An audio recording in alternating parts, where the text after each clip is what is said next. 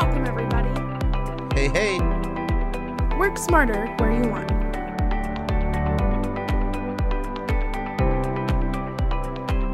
This is learning at its most fun.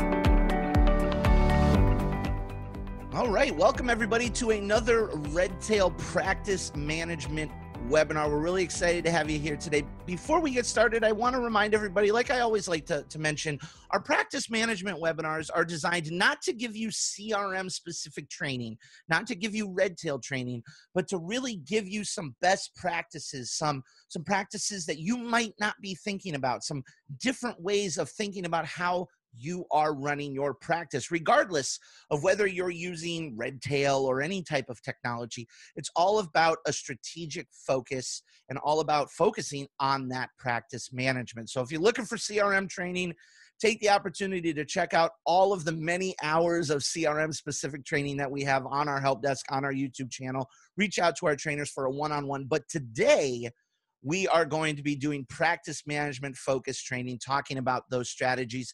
And with us today, we have Derek Notman uh, from Conneqtor. Derek, I've been working with Derek for actually a fairly short amount of time, but for that short amount of time, I've actually really liked uh, working with him. We've really jived and connected on a lot of strategies. Uh, it's my pleasure to introduce him and to have him on today's webinar.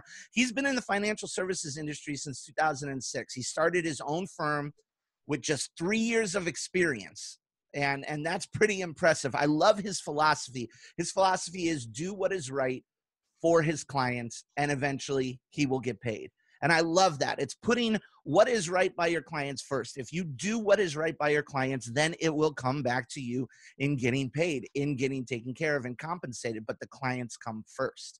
Uh, in 2013 he transitioned his practice to a virtual model. And he did that to save his clients time, save them money, and give himself a better work life balance. And that change has allowed him to pursue more passion, spend more time with his family without sacrificing the services that he's able to provide to his clients. Uh, he and he did that seven years ago. He did that before any of us might have even been thinking about doing uh, virtual models. Derek's the founder of Conneqtor, a technology company focused on serving financial advisors on a global scale. And like I said, I love that Derek has been operating in this particular space with this particular virtual mindset that is so very obviously important right now this year and and for the years to come. Uh, so not only has he put together a valuable and successful virtual business model, not only has he been helping advisors put together their own virtual models, but he's been doing it, like I said, for the past several years. While I have personally seen many struggle this year, you know, to catch up in these past months that, that we've been kind of forced to make changes. So I love that he has that mindset. I, I, I watched his presentation during the uh, Riskalyze virtual Fearless Week. I really enjoyed it. Um, and I'm really happy to have him here today. So, Derek, with all of that being said, my man, the floor is yours. Take it away. thank you very much, Rick. I appreciate that very kind introduction. Uh, everyone else, thank you so much for giving us some of your time today. It is greatly appreciated. I know how busy everyone can be, and for you to carve out some time for us uh, is very generous. So thank you. Uh, excited to get into this today, and as Rick said, we're going to go through uh, some really cool uh, strategies, tactics, ideas, things that you can think of for your practice. Um, and then we definitely want to reserve some time for some Q&A at the end. Uh, so feel free to drop those questions as Rick suggested. And uh, Rick, at any time, if there's a question that you think fits, please interrupt me and we'll, we'll jump right in and talk about it as we're going. Okay. So uh, yeah, we'll, we'll jump in here. And just so you all know, uh, those of you who saw Rick's presentation at Riskalyze, uh, arguably the best presentation I've ever seen. uh, was an inspiration for how I'm going to do mine today. So yes, I'm copying him a little bit, but uh, that's uh, you know that's um, what a compliment, as they say. Um, so hopefully we can uh, you know hold a little bit of a candle towards what he did. Anyways, we'll, we'll jump in. Thanks again for everybody you know being here today, and uh, I hope you get a lot of value out of this. Okay, so let's start with this little blip right here. Because it's real. How can I know that, Mr. Shen? How? Yes, how? Uh, help me out here. Please, how?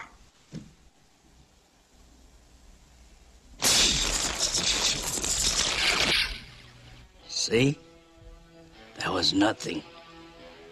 But that's how it always begins. Very small. Love that movie, and we'll see a few more clips as we go through here. But basically, what we're going to talk about today is the dark and stormy night for financial services. You know, what COVID has done to our industry this year, and there are some silver linings, I will tell you. Um, how we react. We have to talk about our reactions to the environment that we're in, not only for just getting by tomorrow, but what does the future of this industry look like, and how are we going to react to that? I'll talk a little bit more about me. I think Rick did a great job introducing me, so I'll give you a couple little bit more tidbits on who I am. Uh, we won't have to spend a whole lot of time on that. Um, we're going to talk about how practice management used to be thought of and, and done. Um, you know, even though I only started in 2006, I was taught a lot of things that were done for many, many decades before that. So it'll be interesting. We'll talk about where things used to be from a practice management standpoint. And then we'll talk about practice management today and how things have evolved and look and how things should be done differently. Um, we're going to get into some specifics. I've got a nice hit list of things that I will elaborate on, things that you can walk away with today uh, that you should be thinking about as far as practice management comes to your actual business. Uh, a little bit about what Conneqtor is doing to empower advisors. Uh, we do get questions about this. so I just want to be clear what Conneqtor is and what it does. So we'll talk about that a little bit. Um, and then we'll do a live Q&A for everybody. So we can just pop in any questions that you have, and uh, you know we'll go through them as best that we can. Um, and as Rick may or may not have mentioned, we will definitely be following up with a replay and then uh, also I will be sending all of you a copy of this slide deck uh, and my, just my contact information. So you'll have all of that later. Okay, so let's jump in here to the first bit. You just listen to the old Pork Chop Express and take his advice on a dark and stormy night, all right? When some wild-eyed, eight-foot-tall maniac grabs your neck, taps the back of your favorite head up against a barroom wall, and he looks you crooked in the eye, and he asks you if you've paid your dues, well, you just stare that big sucker right back in the eye, and you remember what old Jack Burton always says at a time like that. Have you paid your dues, Jack? Yes, sir, the check is in the mail. Right, so love that movie. Again, if you haven't seen it, watch it. It's one of actually one of his first movies ever done, so pretty cool. So we're in, in the midst of a transformation of our industry, the financial services industry. And as you all are aware of, this is an old, old industry. We've been around for a long time. We don't tend to evolve or pivot very quickly unless absolutely forced to.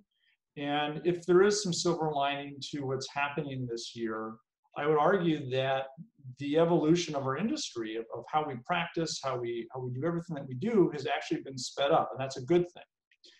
You know, we, we are in the midst of what is you know referred to as a mega trend, and if you don't know what a mega trend is, although this is a great uh, quote here that really sums it up nicely, go Google it and take a look. But we were in the midst of this global trend, this global mega trend, before COVID was even a thing. So we've been around for some time now where things have been evolving.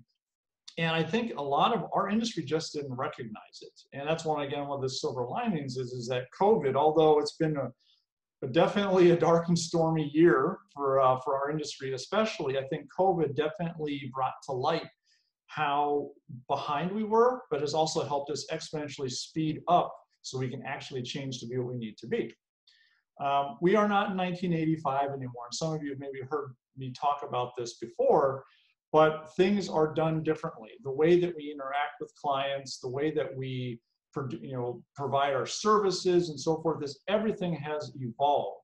So we have to make sure that we are, are thinking about that. And a quick tangent, when I was started in 2006, I was being taught the strategies that had been around for the last, you know, 20, 30 years from 1985 and so forth. And I was asking a dear friend of mine who actually started in the industry in 1985. And he was laughing about me telling him this because he said when he started, he had, was taught the exact same things from guys who had been doing it since the 50s. So this has been around for a long time. So I, again, it just shows that like we have to transform, we have to evolve. We are we can't be stuck in the past anymore. What's interesting with a mega trend is that human behavior changes. It materially changes. Now, will we ever um, go back to the way we were 100%? No. Will we kind of as a rubber band kind of snap back a little bit? Yes, we will, but human behavior has actually changed. And with that, we have evolution, we have evolution of technology, which has happened for some time now.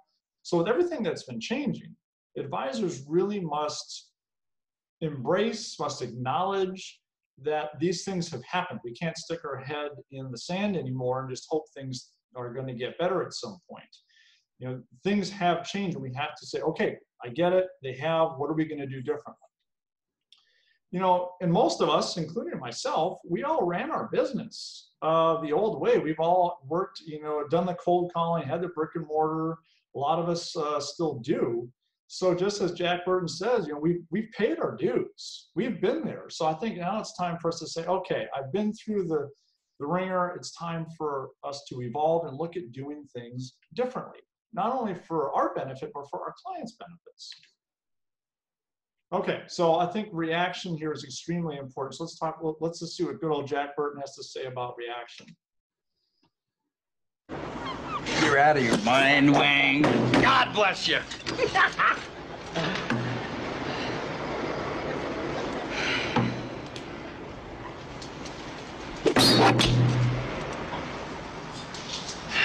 it's all in the reflexes. Wait. Love that scene. So, as I said, what people want has changed. How they want it, what they want has actually changed. And we have to be aware of that right? How people are getting their information, their services, all of that is changing. But let's think about it. We, we have Amazon now. We can get everything from Amazon. My wife has something dropped off from Amazon, I think daily. Um, you know, we can do our groceries online. We do our dating online. We do our banking online. So how and what people want definitely has evolved over the last 20 years as we've been in this mega trend that we've been in. So people are going to go to a source that they trust one way or another. And if they can't find it at one place, then they're just going to go to the next thing. And that's where the, the internet really has, has been this great equalizer where those that are willing to be the source of trusted information, boy, they can just grow exponentially, but it also can really just make the ones that aren't, aren't willing to provide the information and be that trusted source kind of just be left to history.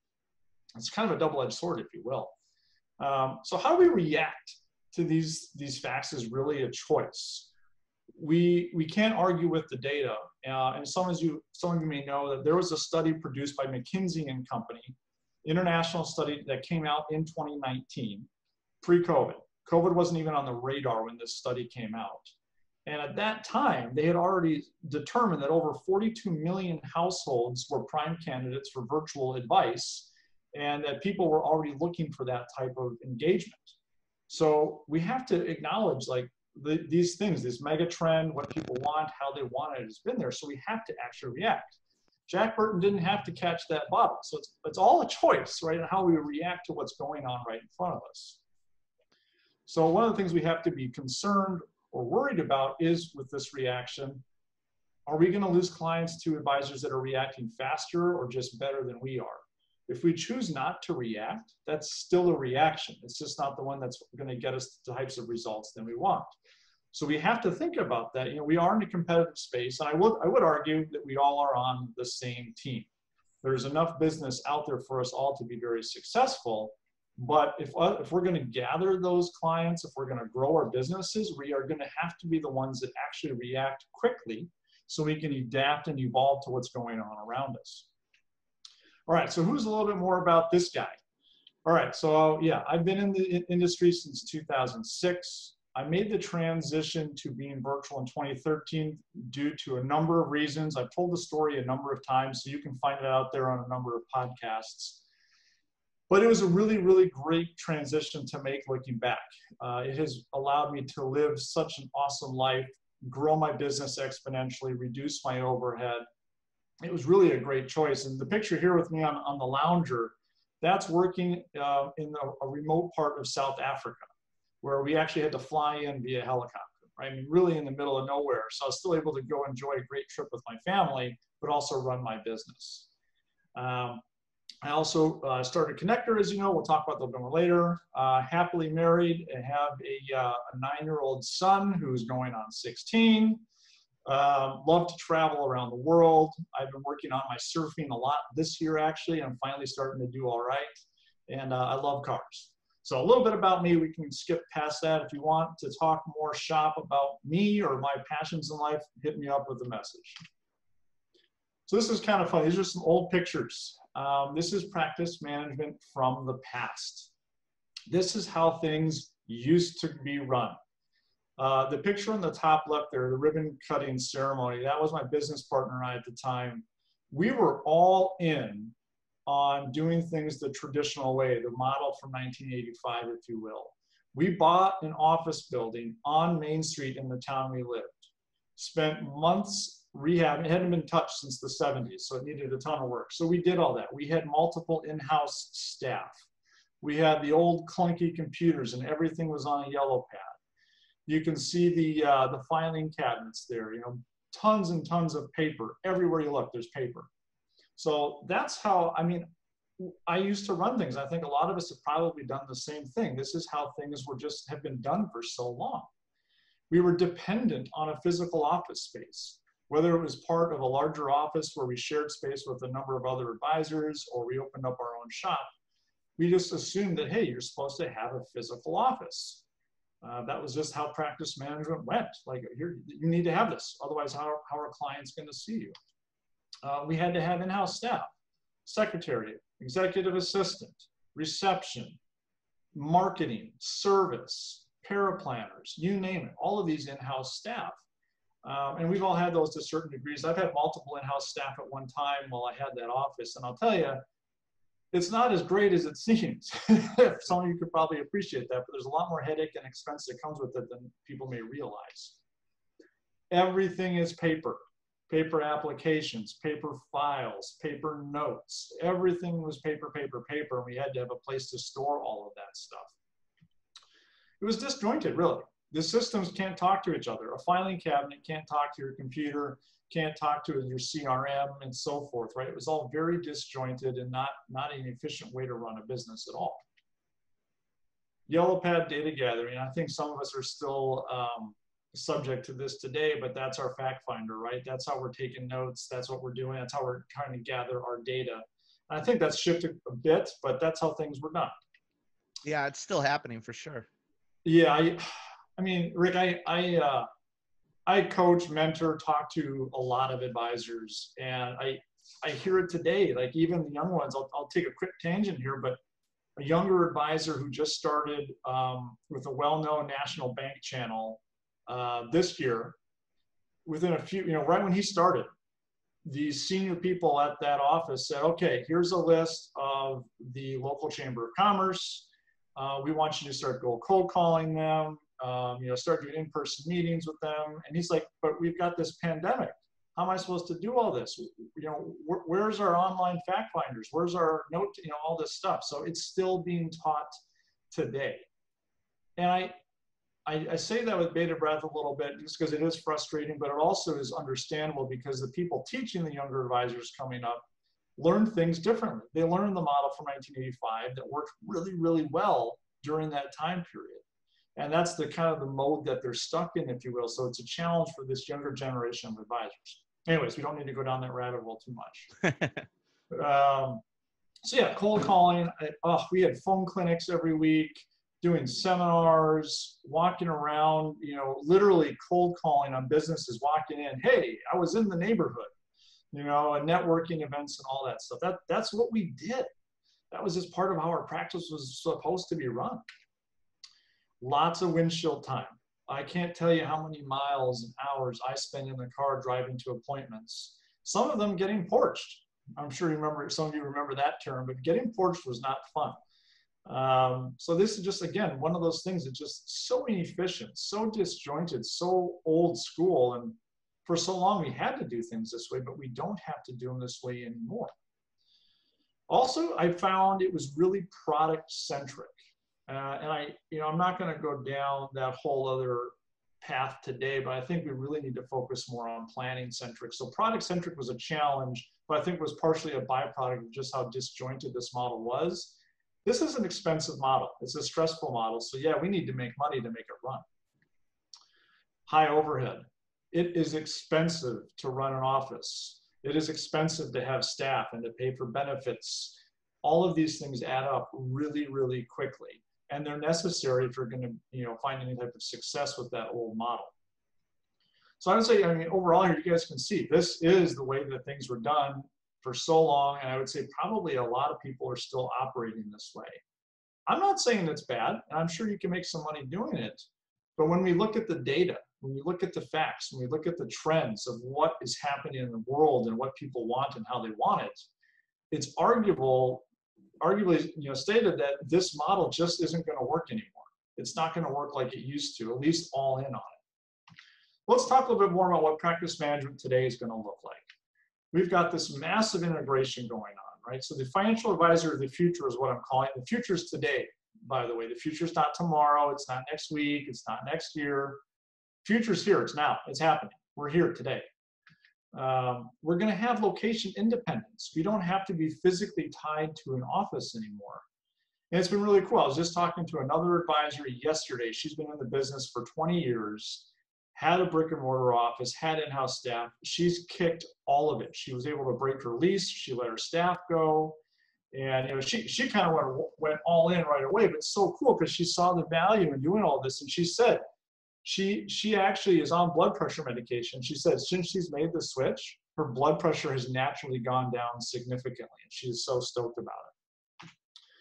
We outsource almost everything now these days, from our staff to our CRM to our financial planning to, to our filing. So much of the things now can be outsourced. And it, it makes sense because as financial advisors, as planners, our job is to be an amazing planner. It's, it's to be able to sit down with our clients virtually or, or belly to belly and help them figure out what's important to them and put a plan together to help them get there. Our job is not to be a CRM master. Our job is not to be a marketing guru and all these other things. So why not outsource that stuff to the experts? Let them come in and provide the solutions for us. It's much more efficient and a fraction of the cost. We have a robust digital footprint. The cheesy seminar marketing, the, um, the door knocking, the cold calling, the advertising in the newspaper. I even once had a, a kiosk at a mall. Like, you know those mall like kiosks where you can buy like sunglasses or cell phone covers and stuff like that. I had a kiosk at a mall Friday, Saturday, Sunday, all day. Um, it didn't work, but that's the kind of stuff that we used to do. So the advisor of the future, the way that they're building their practice now, has this robust online presence. You may ask, well, why? Well, it's because where people are. The oldest trick in the book, marketing trick in the book, is to go where people are and then be present. People aren't going to malls like they used to. People don't aren't going to seminars like they used to. They are online, so we might as well be there. Uh, cutting edge tech stack. You can see here, here's just a sampling of the amazing tech that is out there now that we can customize based upon our personality, our practice, our styles. We're not having like a, you know, where we have to physically walk to our, our filing cabinet to get a file and then go get our yellow pad and then get a staff and then make a phone call just to do something for a client. We have massive integration now between all these different cutting edge tech stacks that we can use, which is awesome you know, it's, it's pretty cool too, because a lot of these tech have been around for some time. It's almost like they knew something the rest of us didn't because they got out there and started doing all of these things that we needed. And now we've got it at our fingertips at the time that we've needed it most in history. Paperless office, it's huge. I can't tell you what a weight off my shoulders it was to get rid of those filing cabinets and just be completely paperless. I haven't had a paper file in years, and boy, is that nice. Um, and then we're process and experience centric. I would argue that a lot of even the tech that we're able to use now kind of almost forces to be more process centric. And again, we have to look at what clients want. Back in the day, if we were trying to sell a particular product at someone's house at night, the client kind of had to take a word for it. They couldn't just jump on their smartphone or, or you know, research us as easily. We're now, with everything at their fingertips, they know that they should be getting proper planning and have an amazing experience in the process. So that's what they're looking for now as far as a practice management again standpoint is that client experience needs to be different. We're lean and mean. As I mentioned earlier, I reduced my overhead by at this point 61% from when I had that full office that I showed everybody. uh, but my income has increased by 20% a year at the same rate. So we're lean, we're mean, we're able to pivot much more quickly. It's amazing what you can do by actually cutting the cord, so to speak, in so many of these things that we used to do. Right, so let's talk a little bit more about some specifics. Here's some actionable things that every one of you need to take notes on and write down. Yes, you are going to get a copy of the slide deck, but these are some things that you need to think about when you are trying to either build or evolve your practice given what's going on. So as I say here, Jack Burton is so much more than just a truck driver, and he really is. We joke about it. I mean, what is he? I think he's delivering eggs to Chinatown in San Francisco. I think that's what his job was. Um, but at the end of the day, look at all the other things that he had to do, whether it's just, you know, making sure his rig got there to actually dealing with all this, you know, Chinese magic and all the other crazy things out there. And I think as advisors, we have to have that same mindset is that we, we are much more than just an advisor when it comes to running our practice. And I would argue, you know, I would ask you this question. Are you one of those planners that doesn't have a plan? Now you tell your clients to have plans, but that doesn't have a plan for your business and instead just throws money for or as a solution. You know, spending $20,000 on a website if you don't have a plan really doesn't make any sense. And we would never advise our clients to do X, Y, or Z as far as implementing something if it wasn't part of a plan and actually made sense. So I want to give you some actionable tips and ideas today to help you guys start to build out your plan for your own business. So here are some components that I believe are necessary to run a successful practice today and moving forward. First, I would argue everyone needs to take a step back. Now, I mentioned earlier, I have talked to hundreds and hundreds of advisors, and this is the step that I see missed most, is that the advisors tend to forget what their own personal hopes, dreams, and goals are. Another way to frame this is, is what is your why? Now, this shouldn't take 20 minutes on a yellow pad. This is something that should take hours and hours. It should be a fun process. You should do it with your family. And part of this process is actually creating a vision board. Now, I know that sounds a little hokey, but let me tell you, it works. Every advisor that I've helped that comes back to me and actually has done it, like they've even sent me pictures of their vision board. It's a game changer for them. So I would say, everyone here, you like actually spend some time with your family and write down what's important to you. What do you want outside of your business? Because if you do it correctly, I'll tell you right now, it actually drives a lot for your business. It helps you get crystallized on what your brand is, what your messaging is, what your digital marketing efforts are going to be. It helps you define who your ideal client is. It really has a, a massive impact on all aspects of your business.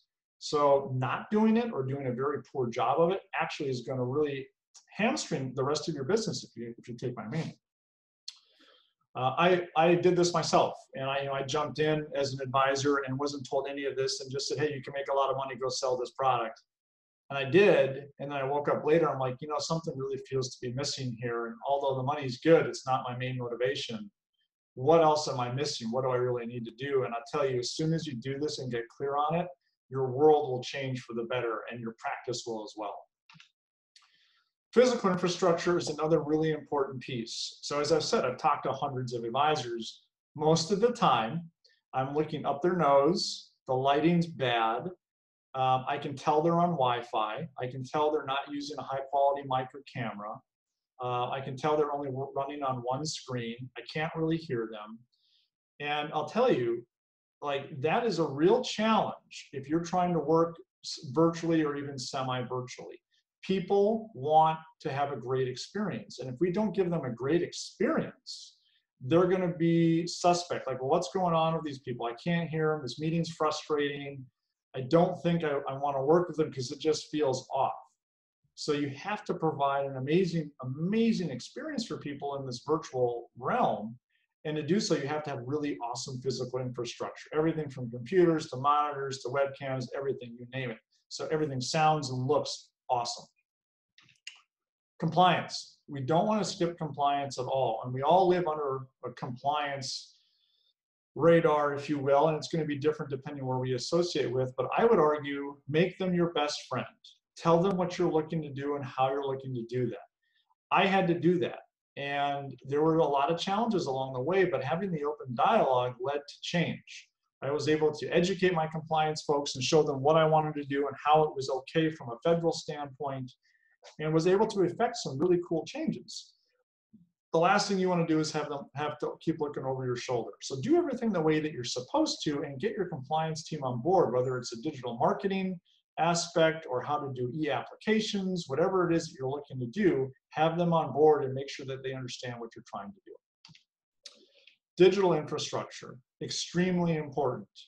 Just having a website is great, but there's so much more to it. We have all of these different aspects of our digital infrastructure, our social media profiles, multiple ones, websites, there should be multiple ones, blogs, SEO, all the, the Google um, Bing and all these other, there's, there's all like Facebook pixels, all these technical aspects that have to be embedded into our digital footprint so we can not only get out and recognize, but then we can track our metrics so we know what's actually going on and we can determine what are what efforts are working well and which ones aren't.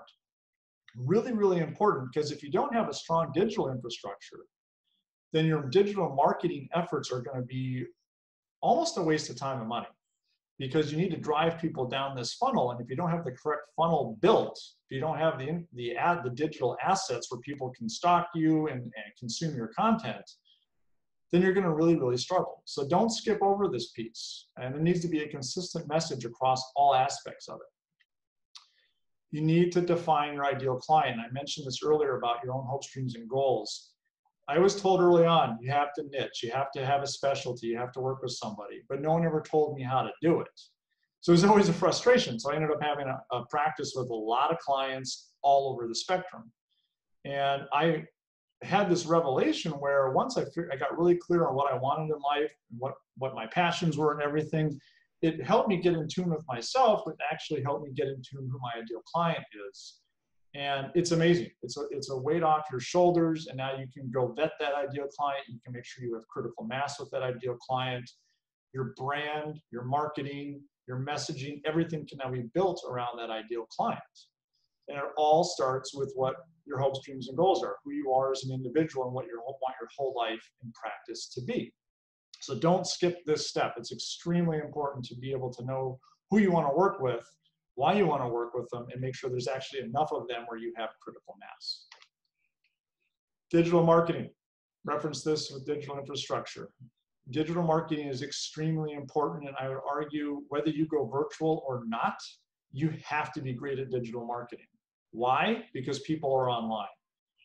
Billions of people are online. Google processes 3.5 billion searches a day. Okay. So you can't argue with the facts and the numbers. I love math. We all love math. You can't argue with that. So people are online. So we have to go there and be present. We have to create content. Uh, some of you maybe heard me talk in the, in the past. Don't be a creeper. Be a creator. Creepers just sit out there and they never comment. They don't create content. They don't engage. And that's just weird. It's creepy. So part of your digital marketing efforts is, is you have to become this content creation machine where you're able to research what people, your ideal client, wants to know more about, and then create content of value there that they can consume. But then also let people know a personal side of you. Who are you? What are you all about? Let people see into your life a little bit because honestly, people don't care how much you know, what your credentials are, how much you manage, you know, in assets until they know who you are. They want to know who you are. They want to connect with you on a human level first. And your digital marketing efforts are a great, great way to be actually uh, to able to share that message. Trust and transparency. This is done through all of your marketing efforts, all your branding efforts, and everything.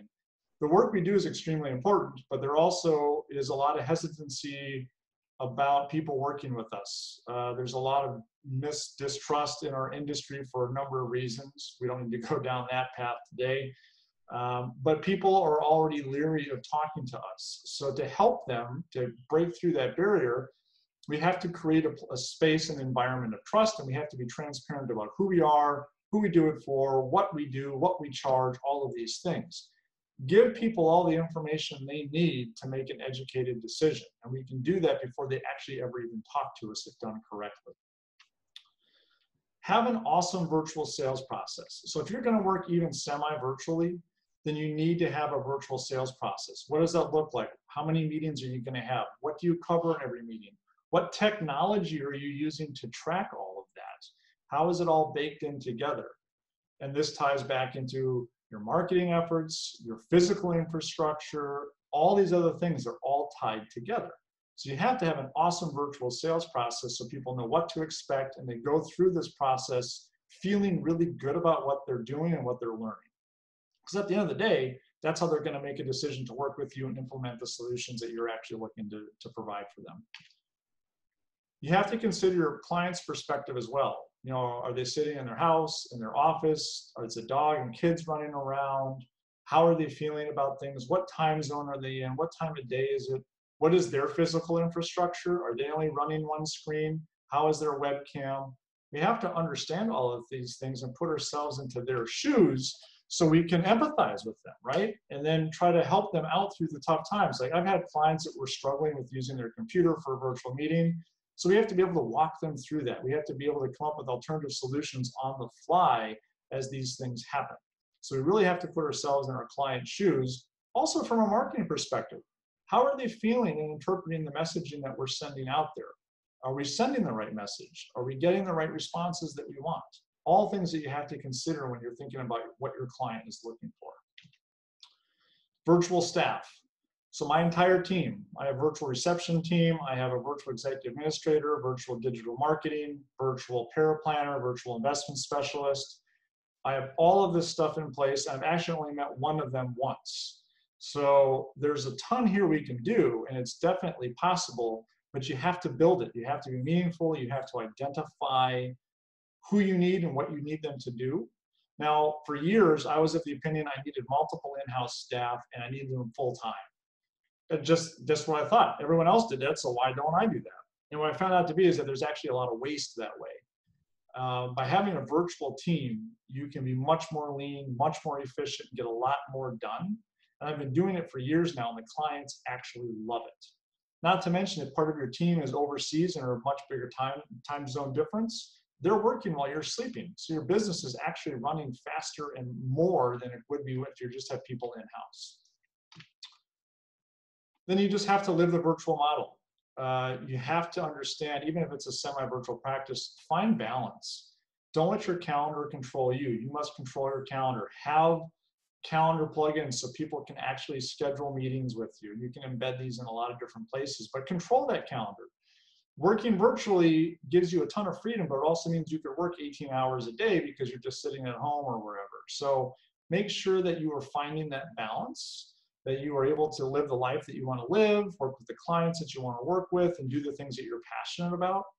And I would argue that running a practice in today's day and age with the technology available, the understanding of the consumer that, hey, virtual is okay, that we can actually get a lot more done in the same amount of time that we did before and now have more time to be with our families and pursue our passions. So it's really important that you actually live the virtual model. That's not something you just talk about, but you actually live it and enjoy it, embrace it.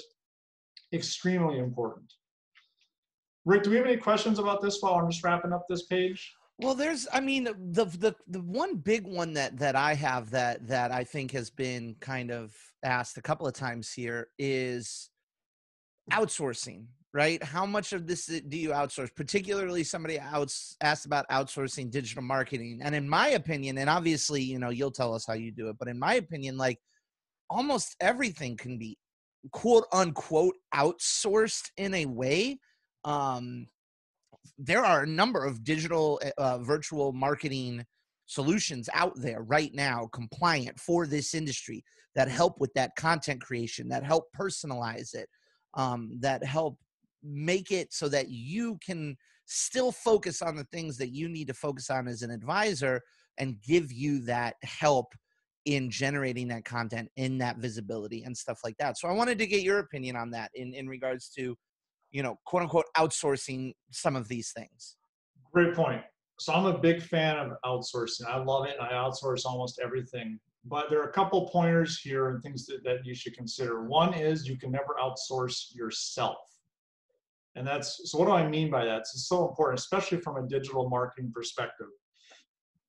When I started this whole journey, I did all of my own digital marketing. and it was a bit of a time suck. It's it's it's work to create your own blog posts and your own social media posts and uh, you know update website content and create ebooks and all this stuff. And at, I, at this point, I do. I have a digital marketing team um, that does a lot for me at this point, but I didn't start off that way. And my advice is yes, go ahead and outsource it, but not yet. Don't start that way. And why is because you, as the advisor, whether you're a single shop or you've got multiple advisors under a brand, doesn't really matter, is you have to, to figure out what your voice or your persona is online. And the only way that's going to happen is if you actually start getting out there and posting content on social media, writing blog posts. And it's important for two reasons. One, it helps people get to know who you are because you can't fake it. And two, when you end up do getting an outsourced digital marketing solution, they can now go look at your content and say, ah, okay, I get who you are. I see what your writing style is all about, how you're interacting with people. So now they can go replicate that. Otherwise, if you just go straight, and this is what I talked about earlier, you know, are you just throwing money at something instead of as a solution instead of actually doing it? If you just go throw money to hire a digital marketing team because it's easier, what ends up happening is, is you get all this white label content that people can tell a mile away you didn't write it, uh, you didn't create it, it's canned, and maybe even multiple advisors are using the same thing. That's even worse when they're looking at that. So that's a real like off-putting exam, you know, way to interact with clients or potential clients. So yeah, I love outsourcing, but don't do it initially, especially for digital marketing. Work up to that over time. And I'll say people want to be like, well, I don't have time for that. Well, if you're working virtually or semi-virtually, you're not driving to client appointments anymore. And I love this example. Think about this, folks. If you spend just one hour a day driving to and from your office or to client appointments, and let's face it, we all drove a lot more than that before the, the pandemic. You do that five days a week, 50 weeks a year. That's 250 hours. So do a little bit more math on that. That's four or 6.25 40 hour work weeks, you were sitting in the car doing nothing productive, right? So you've lost all that time. And just so extrapolate that, what if you're in the car two hours a day, right? I mean, think about how much time, months, that you were wasting in the car where you could be actually sitting at your desk creating content and engaging with people at scale.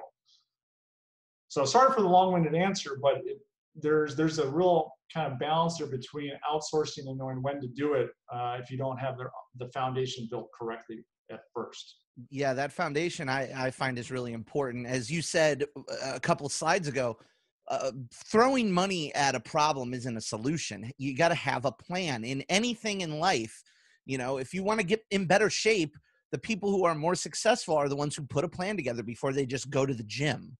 You know it's it's longer sustained progress if you have that plan in in, in place. That that's exactly right. Actually what will happen is if you don't have a plan in place and you throw money at something you will actually compound the problem. You'll right. make it worse and then you wake up a month or six months later you've spent all this money and time and you're actually further behind than you were before so put a plan in place. We do it for our clients. We know the, the, how important it is. Put your own plan together, your own roadmap, if you will, so you can start doing all of these things. All right, did you, should we go on to the next bit here, or do we? Have yeah, yeah, we'll save some of the questions for the end. Okay, cool. All right, all right. I love this one here.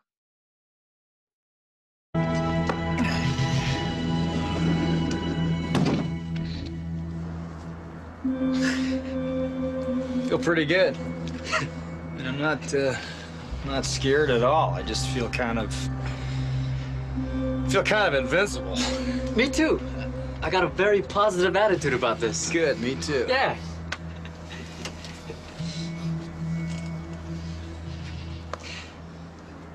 Is it getting hot in here? Is it just me? Nah, I love that. All right, so at the end of the day, Conneqtor is empowering advisors to feel invincible, just like Jack Burton and all those guys were talking about there. That's what we're trying to do. And it, to define it, what is a system? A system is a comprehensive set of processes that you can set up once and then automate. And that's what the virtual advisor system is.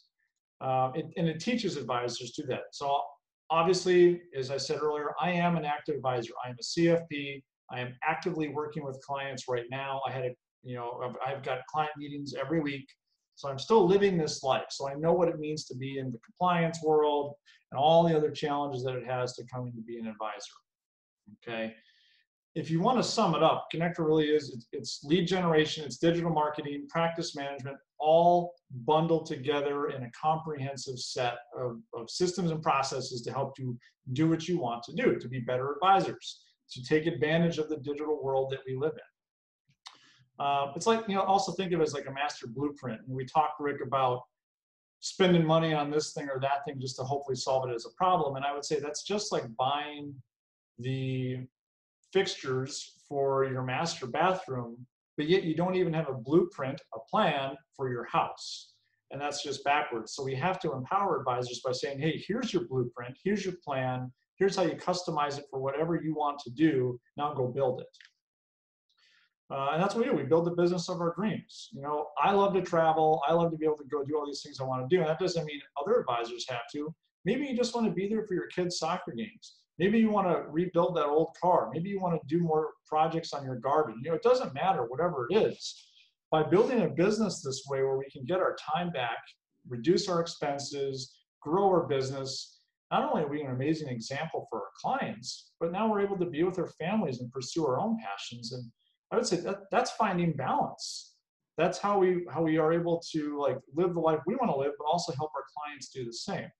So that's what we're doing at Conneqtor. To sum it up, that's just you know how we do things, what we do, um, and these are just that that that one piece right there. I love that matrix. I've given that out for free. Anybody can go find that from the Conneqtor um, uh, LinkedIn page.